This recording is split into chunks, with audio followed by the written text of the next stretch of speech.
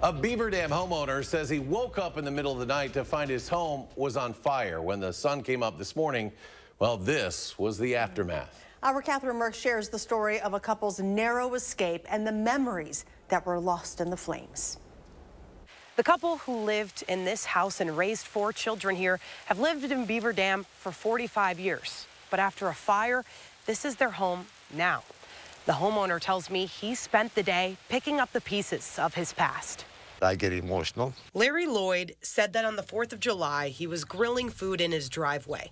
When he was done, he said he didn't see any fire and put the charcoal in the dumpster until he and his wife realized something was wrong. About 7.30 or so, I told my wife, I said, Sharon, I think I smell smoke. After he put the small fire out, he went to bed.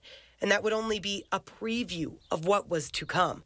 Around 1 in the morning, his entire home went up in flames, which turned into a close call for the couple. She come and got me. And she says, we're on fire.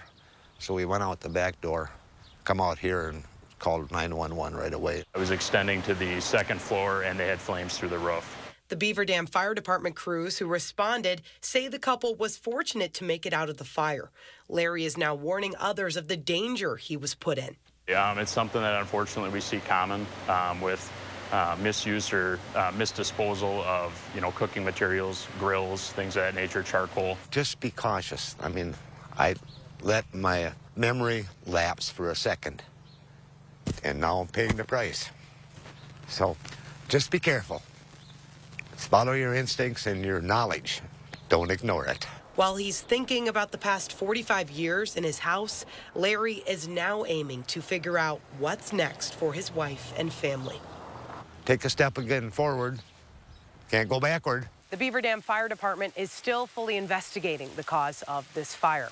Reporting from Beaver Dam, I'm Catherine Merck, News 3 Now.